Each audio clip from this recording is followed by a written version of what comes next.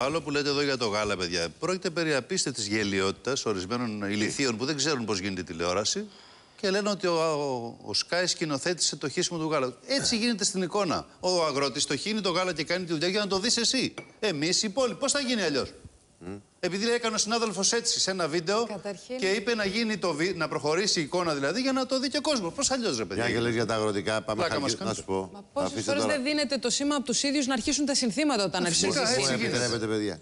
Όλα αυτά Ανοησίες. είναι, μπορεί να αφορούν στην κοινωνία του θέματο. Το πραγματικό πρόβλημα παραμένει. Ε, βέβαια. Αυτό είναι. Δεν είναι άλλοι άνθρωποι που είναι Έτσι. έξω, αγρότες είναι αυτοί που είναι στις κινητοποιήσεις. Ακριβώς.